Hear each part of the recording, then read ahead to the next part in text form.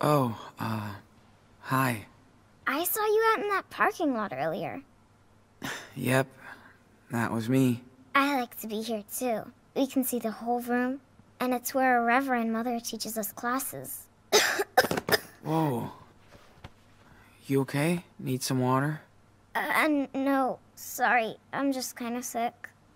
Oh, that sucks. Uh, that's too bad.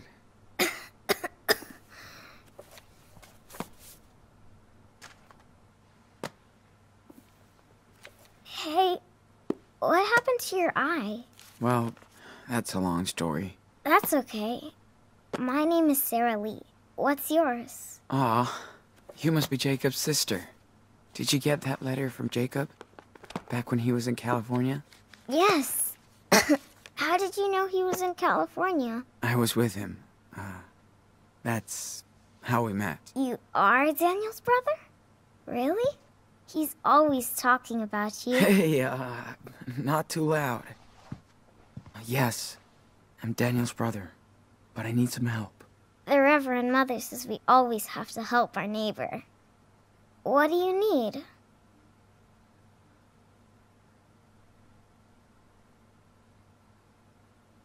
What is this place? This is our home. Our church and community. The Reverend Mother says we were all chosen by God.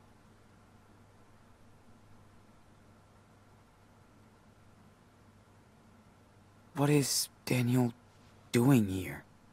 He's our miracle, and the Lord brought him right to our Reverend Mother. I like him. He's really kind and funny. We play together all the time.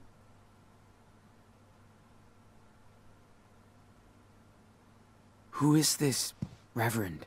You don't know her? That's our mother, Lisbeth. She was blessed by the hand of God when she was my age. she can't ever sin. The Lord guides her.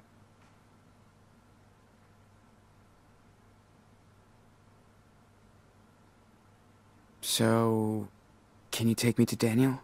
Oh, yes. He's gonna be so happy when he sees you. He missed you so much for his birthday. It will be like a late surprise.